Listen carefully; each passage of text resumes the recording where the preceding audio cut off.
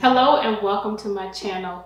If this is your first time here, my name is Shadava Roberts. This is a space where you can get biblical and practical wisdom for your everyday life and journey with Christ. If that is something that you will be interested in, please go ahead and hit that subscribe button so you can stay up to date with what's happening here on this channel. And if you are already subscribed, thank you so much for tuning in again today. Today, I want to share a word with you that I believe is at the heart of God. Uh, I believe that it's an area um, where the Lord wants to bring a little bit of a rebuke to the hearts of parents. I believe, um, particularly women, um, because you know that that you are my audience, you know, as women. But I believe it's at the core of what God wants mothers to understand as nurturers, as those who um, sometimes take a primary role with children. You may be asking the, you know, um, what does this title mean? Do I hate my children? You know, who in their right mind would hate their children? Well, I want to go into the Word of God today to show you um, some biblical principles and to point out something that I believe will be very sobering and it will help you to really understand if you are loving God out of yourself or if you loving loving your children you know, from with from from yourself and your own wisdom? Are you showing love to them based off of biblical principles? So I just want us to get some wisdom today on something that I believe um, that really, really, really is is uh, pricking the heart of God as it pertains to parents and children um, in these days. Before we get into it, let's pray.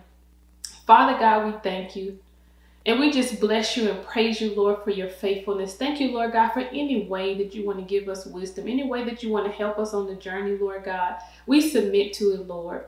And so, Father, I just invite you in, Lord God, into this space right now, Lord.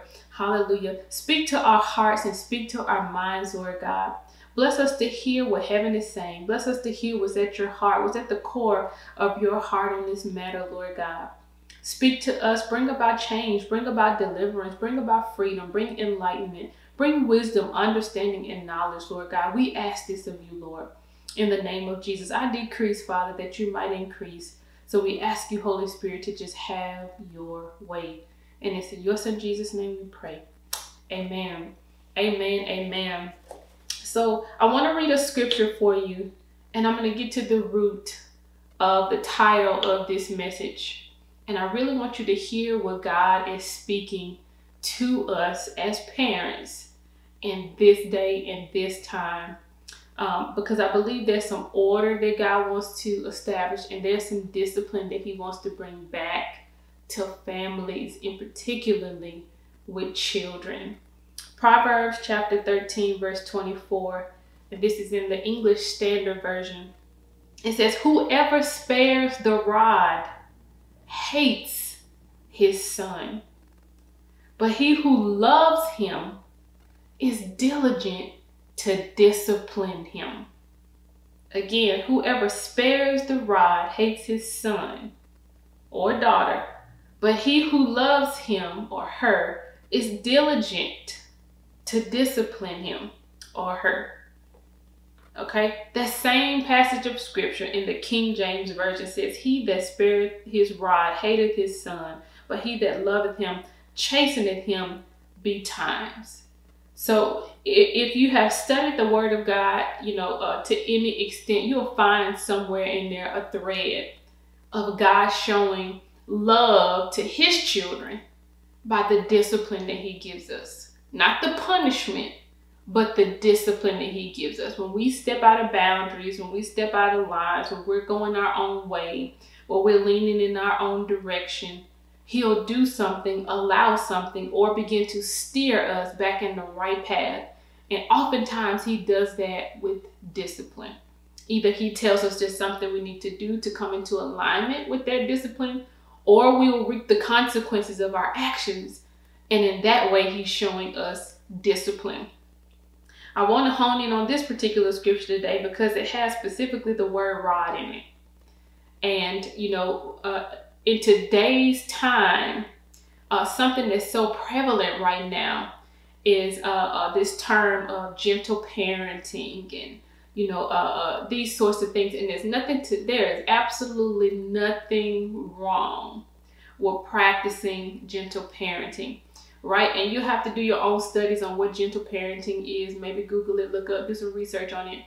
But what what we what a lot of people have turned that into, and and I would even say uh, those of us in the body of believers is some of us have experienced so much trauma in our childhood from our upbringing right? Because our parents, you know, a, a lot of them did not spare the rod. And, um, you know, especially I would say in the African American community, I can only speak for my own people and what I know and, you know, family history and those sorts of things. But a lot of our parents disciplined us or punished us and it was abusive and we didn't even know it, right? That's how we were raised. And so whenever the word rod is, is instituted or we hear that word rod, we automatically think abuse. We automatically think hurt. We automatically think pain. And discipline now, discipline does come, there is, there is some pain that comes along with discipline.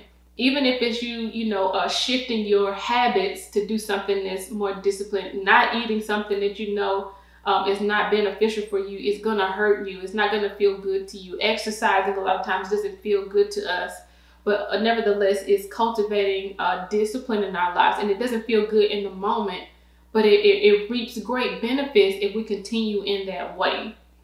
But as it pertains to this word rod, I just want to hone in on it. The word rod um, in, in, in the Hebrew is uh, shabet or shabet, right?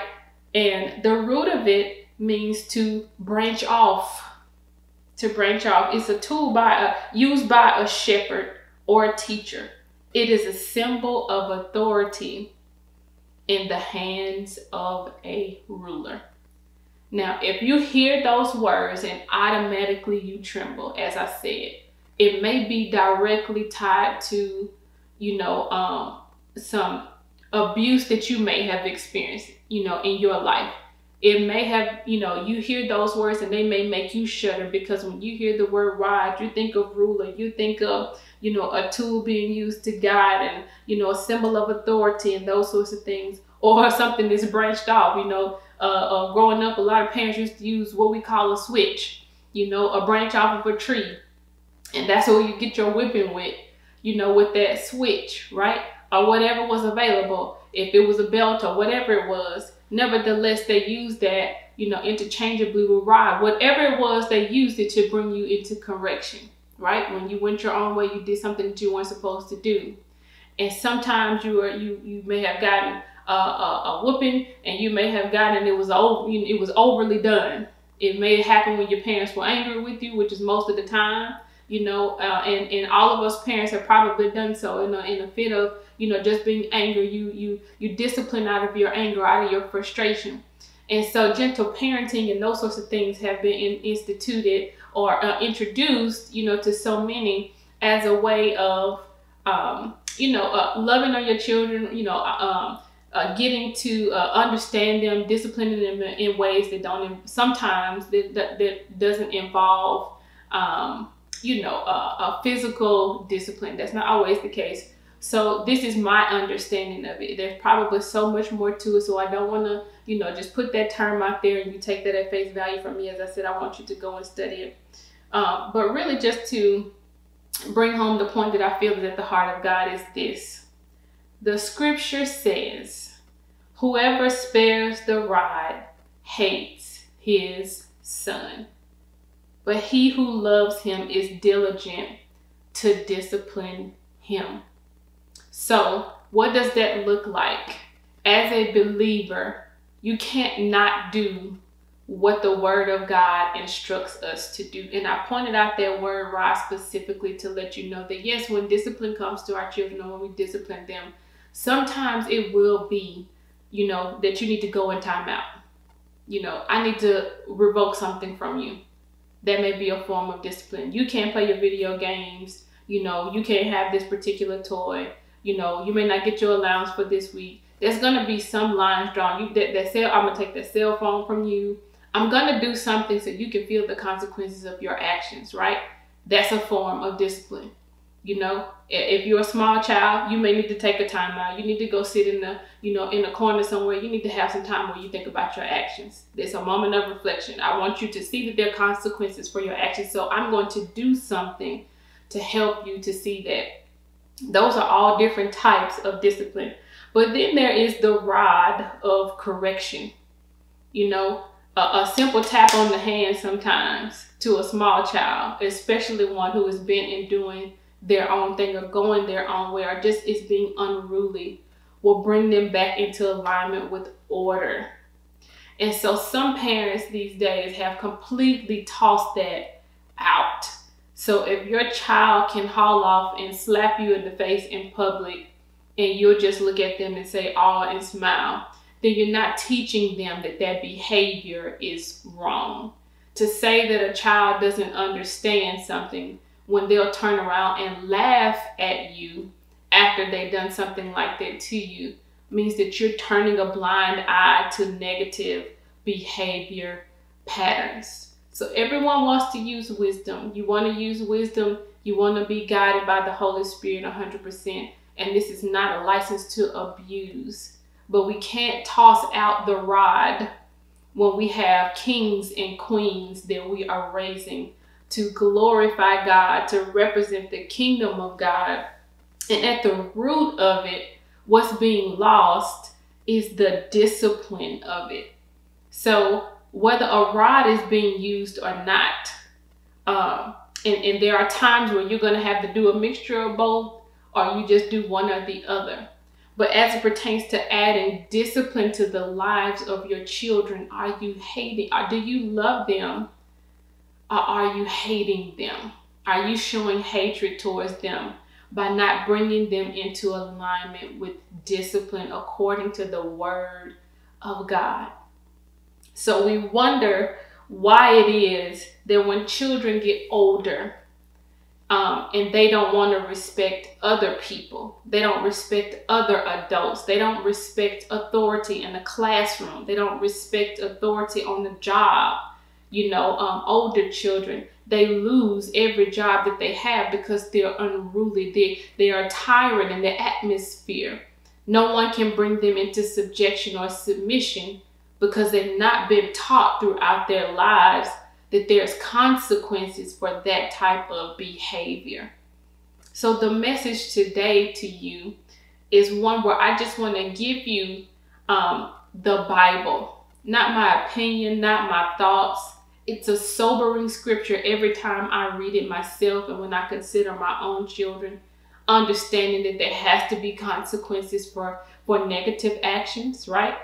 And that's not to say that you have to, you know, always reach, reach for a rod of correction, but there's definitely some things that you need to do to bring them into correction so that when they are older, we are to train up a child in the way that they should go. When they're older, they won't depart from it, right?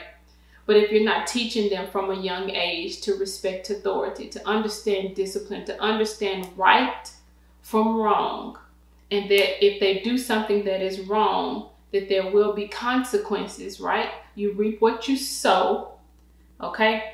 Then they're not going to be able to grow into uh, young adults um, or go from being parent led, right? To um, being, uh, get to a place in their life where um, they learn to be self-led with discipline and then God-led, that God is, they give full surrender over to him. So without, you know, being able to learn discipline at a young age from parents, when there is an authority figure over you, when they're out on their own, there's still no sense of authority to them if you don't teach it to them at an early age. They won't understand that God is the ultimate authority.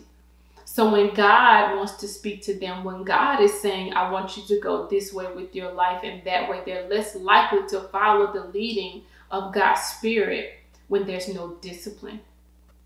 You know, God, as I said, will chasten us, his children, disciplines the son that he loves, right? So that we can go in the right way. He wants us to learn from our actions. He wants us to see that if you continue in this way or on this path or on this journey, it's going to lead you into destruction. And if you don't heed his voice, then there are times where he'll lend you to your own behaviors. He'll he'll turn you over to a reprobate mind, you know, and, and let you figure it out so that you can understand that he is ruler of all. He reigns supreme and he wants us to submit ourselves to him. He's not looking for subservient hood. He's looking for us to come to him as Abba, as a father, as respect. And so there's even other scriptures, you know, and I may pull one or two of those up, you know, just where it talks about, you know, us uh, uh, respecting the discipline of our earthly fathers and then being able to respect the discipline that comes from our heavenly father. And what God is saying there is, if you're not willing to, or if you would respect your earthly father, then why not respect what I'm saying? Don't don't just look at the Bible, you know, read the words and then turn away and look look away from it as though you didn't read what you read, you didn't hear, you know, um, what you heard, and not allow for His word to transform you. What He's saying is, I want you to respond to it, right? But also understanding if you live contrary to it, there's consequences. So at the root of it all, we have to understand um, that there are consequences and to truly and genuinely show love to those who God has trusted into our care. Because oftentimes we forget that our children are on, they're sent on loan to us. They're God's children. And if, if he wants us to be good stewards over, over our children, which are his children first, then we need to follow his lead. We need to follow what he's saying. We have to do some things to uh, implement discipline with them. Otherwise, they will go their own way. And what it would produce in the future is a, a very destructive relationship with God to the point where they won't honor God. You know, so the enemy is working double time in these days to get everyone to, to, to turn, you know, to some other faith. You know, to believe that there's uh, other ways to God except through Jesus Christ. To believe that there's so many other faiths you know, that we can take part in, or we can be half Christian, half Hindu, half Buddhist, whatever. You know, we can go out and worship nature, then worship God. We can believe that the universe is blessing us instead of God and all these different things. But God is saying that there's only one way. So if we don't take Him at His word, if we don't trust Him, you know, with His word and that His word is true, you know, that it's not going to return void, that He's not going to change it, but that we just submit to it, we're going to get the results that He wants us to get from it. Um, another scripture, Hebrews chapter 12, 11, English Standard Version, it says, For the moment, all discipline seems painful rather than pleasant. But later, it yields the peaceful fruit of righteousness to those who have been trained by it. So it's always hard when we have to discipline our children, in particularly with the ride. Even if you got to bring a small child into a timeout, you know, get, you know, take something from them and you see them cry and those sorts of things, that works on the heart, especially as a mother. It can really work on your heart, you know, and you're more, you know, saddened by seeing them sad than you are bringing them into alignment you know, with discipline, as I said. And so we just have to pay attention to the what the word of God says. Again, that's Hebrews 12, 11 discipline is going to bring us into righteousness. It's going to bring us into right standing with God. And so, as we are doing those things in our own lives, we have to be mindful that we want our children to be brought up in that same way. At the end of the day, we got to get back to the roots. We got to get back to what the Bible is saying and not necessarily what's so common on social media and how you see this one doing this and the other one doing that and what's popular in culture. You can you you your soul can't be saved based off the principles of culture. It's got to be saved based off the principles of the word of god. By you confessing sins uh, understanding that jesus christ is your lord and savior and that god sent him to the earth you know to set you free from your sin. So it's not by works you know but by grace that we are saved. But there are guidelines that God has given us in the scripture to be um, in alignment with Him, to live a life of righteousness and holiness. So, as it pertains to our children, if we are going to do all that we can to try to serve God and live for God, then we need to be leading them in the same way. Yes, you can lead them lead them with your actions, right? But as a as a child is being groomed, as they're growing, it's your responsibility, it's my responsibility to bring them into alignment with the truth. And the truth is the word of God. And um, in, in that scripture that I referenced, train up a child in the way he should go, that's Proverbs 22 6. And in the English Standard Version, it says, train up a child in the way he should go. Even when he is old, he will not depart from it. Proverbs 23 13 through 15 says, Do not withhold discipline from a child. If you strike him with the rod, he will not die. If you strike him with the rod, he will not die. Hallelujah. Um, you will save his soul from Sheol. My son, if, if my heart is, if your heart is wise, my heart too will be glad. So, what is it saying here? If you strike the child with the rod, you know, if you have to discipline them physically, it's going to save them from death. It's going to save them from hell. It's going to save them from the pit.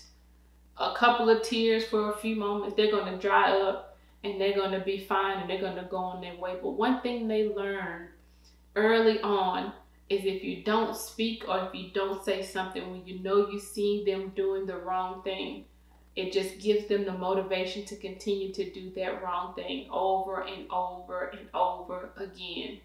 And so, what does that look like when they become adults? They're going to practice doing the wrong thing over and over and over because they never had anyone to answer to about their behavior. And so, lastly, um, I just want you to get in your mind. You know, we want to demystify every lie it pertains to the rod. Again, we're not talking about abusing children, but you have to guide them and steer them in the right direction. And yes, that does come with discipline. Yes, that does come sometimes with a spanking that you spank them some way or somehow to show them right from wrong. You just don't let them go and do whatever they want to do and have their way or just act out, right? All of our behaviors come with consequences, whether good or whether bad. But get this picture in your mind as a, uh, uh, the Hebrew uh, term or the Hebrew word for rod, as I said, is shabet. It, it's a stick or it's a rod, um, like a scepter uh, for correction. And um, the picture here is, you know, um, Uh, a, a, uh, staff in the shepherd in a shepherd's hands. So if you imagine in your mind a shepherd that has a flock of sheep, as the sheep are just kind of trudging along, going from here to there, the shepherd is taking that staff and he's just he's tapping them. Okay, get back in line. This is the way we're going. He's gonna tap them whenever they start to veer off. One's trying to go this way. He's gonna tap them to get them back in line to send them in the right direction. Because what is the shepherd doing? He's guiding the flock into a particular direction. Oftentimes there may be danger. There may be some animals out there ready to attack some of these sheep and the shepherd is aware of that, there may be some things out in front of them, right? That the shepherd may have to uh, bring them to a halt with the staff. Nevertheless, get that picture in your mind. You are the shepherd, you're leading the flock, you have the staff in your hand. Use it to wield uh, uh, uh the weight of authority so that your children will go in the way that they should, that they would ultimately um, go towards Christ. They would live a, a chaste life. They would live a life that glorifies God, that is uh, within the boundaries of love, but also within the, the, the confinement of discipline. That they understand discipline from an early age, and life won't be as difficult for them when they get older as it pertains to having healthy habits as it pertains to having healthy relationships and understanding roles, rules, and responsibilities on jobs, um, in on ministry platforms, in whatever arena they should find themselves. they'll understand that there's a chain of command and that at some time or another, all of us have to submit to the to, to a higher authority. So that's what this is about. So please understand and please hear this, all of it in balance. But do hear that you're training them, you know, and this is so cliche, to reign. You're training them to be their best self, to, to, to understand that you can get to a high place in life, but if you get there it, without discipline, you're not going to be able to stay there. You're going to fall if you don't have discipline, if you don't have order, if you don't have structure, if there's no guidelines. That's what the heart of God is, is crying out, I believe, that parents would understand that we're working together with Him so that these hearts and minds would turn towards Him, and at the end of the day, their souls will be saved and they'll be able to live in eternity with Him because they understood authority and discipline along their, the, the, the journey of their lives.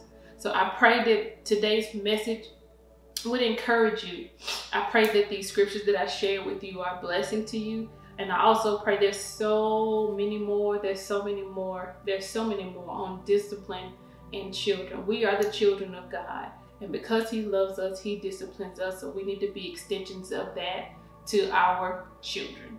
So God bless you. Be encouraged with this word, but also just see, receive the loving rebuke, receive the, the, the sobering that comes through reading these scriptures. I pray that you utilize them with your family and in your life. And also share them with someone else uh, that you love that needs to be brought into uh, understanding. So God bless you all and I will catch you guys in the next video. Bye.